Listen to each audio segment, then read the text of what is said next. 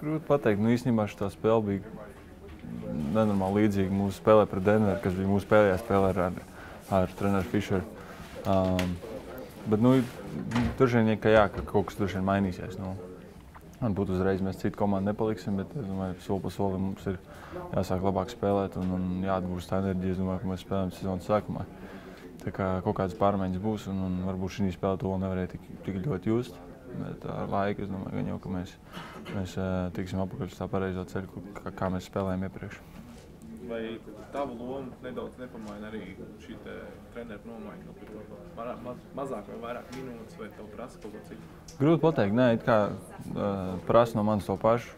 Galvenais ir spēlēt ar, ar, ar intensitāti. Tas man ir vienmēr pirmais, ko, ko es pats sev uzlieku kādu mērķi. Un, un, un, kā, bet nē, tu nevari zināt. Treneris Rembis varbūt redz citas lietas, varbūt viņš man laidīs tādos momentos, nelaidīs citos momentos. Tā kā nevar zināt, divi, divi dažādi treneri. Un, un, un galvenais, jā, es, es spēlēšu lielu enerģiju, lielu atdevu, un, un tad jau gan jau, gan jau tikšu pie tām savām minūtēm. Nākamreiz tiksimies jau citā valstī, Kanādā. Zvaigžņu spēli, uzlaicošo zvaigžņu spēli, viss tas weekends, ko tu sagaidi? Pats jau saka, ka tev tur žēl visām pusēm. Tā ir lieta, ko tu sagaidi ārpus laukuma. Kas ir tas galvenais, ko tu gribi no šī weekenda? Um, es domāju, ka būs jautri atkal satikt visus, visus rūkījus.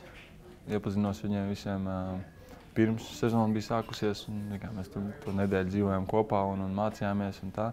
tā kā būs interesanti viņus atkal visus satikt. Un, un, un, tomēr esmu sekojis līdzi, kā, kā katrs spēlē, cik labi katram iet savā komandā. Būs interesanti paklausīties, kā viņiem līdz šim ir veicies ar savu komandu kaut kādu varbūt no kaut kādu stāstu no, no komandas iekšienes, kaut kas interesants. Kā, kā, Tā kā būs interesanti satikties, uzspēlēt kaut kopā un, un uh, jāizbauda. Kā, nu, tas, tas tāds vairāk tāds, tāds lai, lai, lai tu esi priecīgs un, un, un, un uh, nu, tā spēle pat, lai izbaudītu. Un, un, un, un, tur īpaši nopietni nekas nenotiek, bet, nu, protams, es to centīšos uztvert nopietni un, un, un mēģināšu uzspēlēt cik gan labāk.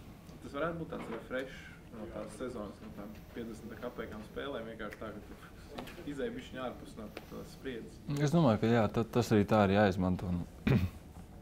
tas, man tur 3-4 dienas būs brīvs, un tas bišķi, man liekas, jāatslēdzas no viss mentāli un, un, un, un fiziski jāatpūš, jāatpūtina ķermenis, jāatpūtina prāts. Un, un, un tad jau ar, ar, ar, ar svaigu prātu jā, jāturpina spēlēt un beidzot jātiek, jātiek atpakaļ uz pareizā ceļa, kad mēs varam vinēt spēles, mēs labi spēlējam. Un, Un tā kā, tā kā tas, tas, tas, tas tāds mērķis.